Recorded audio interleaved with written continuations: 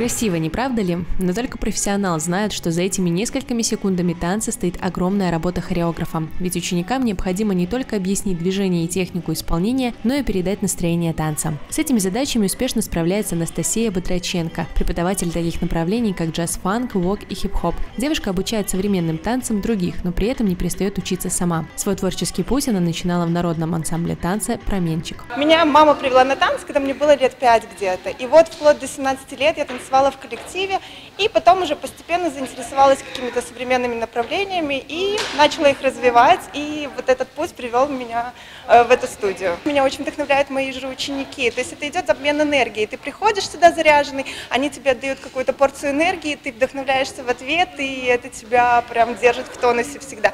Плюс музыка меня очень заряжает. Я слушаю очень много музыки, и она дает мне какой-то вот этого, э, такой жизненной силы вдохновения. Да, действительно, хореограф это яркая профессия, где постоянно происходит обмен энергией, ведь в танце невозможно без этого обойтись. А потому для своих учениц Анастасия это не только профессионал, но и личность, на которую хочется быть похожей. Наш преподаватель, он очень хороший.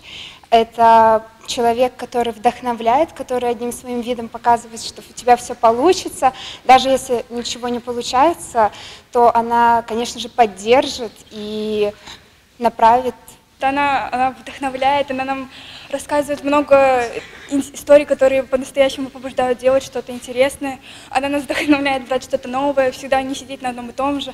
Она, ну, она наше настоящее вдохновление и источник нашей энергии. Такой же энергичный, позитивный Илья Игнатюк танцует сам и учит чувствовать музыку других людей уже много лет. Преподавать он начал в 16. Уже тогда у него было огромное желание танцевать и становиться в этом деле лучше. Кажется, для него не существует невыполнимых движений или танцевальных направлений. Сейчас Илья влюбляет и вдохновляет других людей танцевать в таких направлениях, как современный танец, хип-хоп и стрип-дэнс.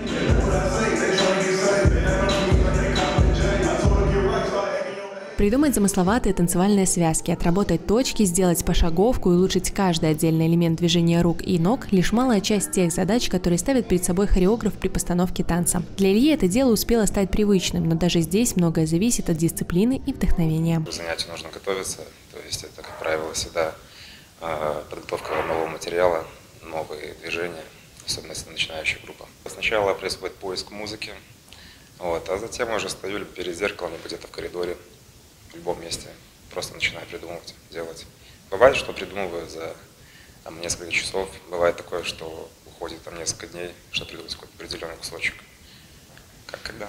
Лего Дэнс Студия – команда профессионалов, где гармонично сочетается и индивидуальная методика каждого хореографа и умение преподавателя донести воспитанникам всю красоту и изящность современных танцев. Чтобы вдохновить, чтобы вот классно у тебя люди танцевали, я уже говорил, это свой собственный пример. Нужно очень классно танцевать, с отдачей, э, если это будет супер эмоционально, это будет вообще бомба прям. Естественно, к таким людям эм, стремятся ученики, когда и классно танцуют, и классно преподают, дает, и при этом еще выплескивает эмоции там наружу. Это, естественно, цепляет учеников, и это вот, вот эти вот три составляющих делают вот педагога вот, э, высокого уровня. В завершении хочется вспомнить цитату Юриса Бауманиса. «Делать хореографию – это не ремесло, это божий дар, талант. И, несомненно, у брестских хореографов все это в наличии».